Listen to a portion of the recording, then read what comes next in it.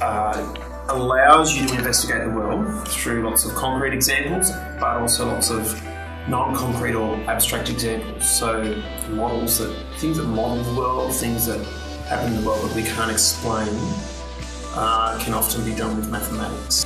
Uh, so students see lots of numeracy in all sorts of subjects, and mathematics is part of that. The more mathematics they have, the better they can do in other subjects and everything they do outside of school. In terms of technology, uh, staff members are taking great advantage of, of the ability to use technology to show real-time dynamic uh, interactions of mathematical concepts with things like GeoGebra, being able to use videos.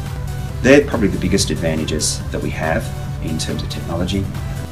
So I'm always very happy to help out students at recess or lunch. Um, Year 7 at the moment, where uh, students can look at some videos for feedback on their homework.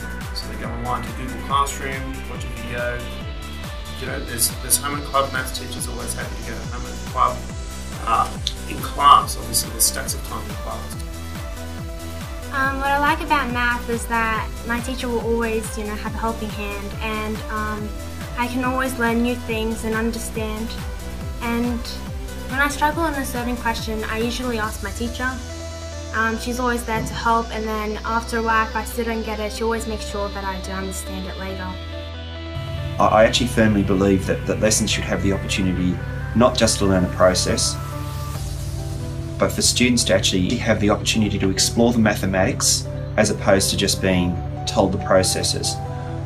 This can actually be achieved in a number of different ways, whether it be hands-on, whether it be working collaboratively with a neighbour to discuss, um, whether it be a guided investigation, where the actual links between the concepts in mathematics are, are developed and built upon so students become critical thinkers as opposed to process workers in mathematics, we're trying to help students see that mathematics is achievable by everyone.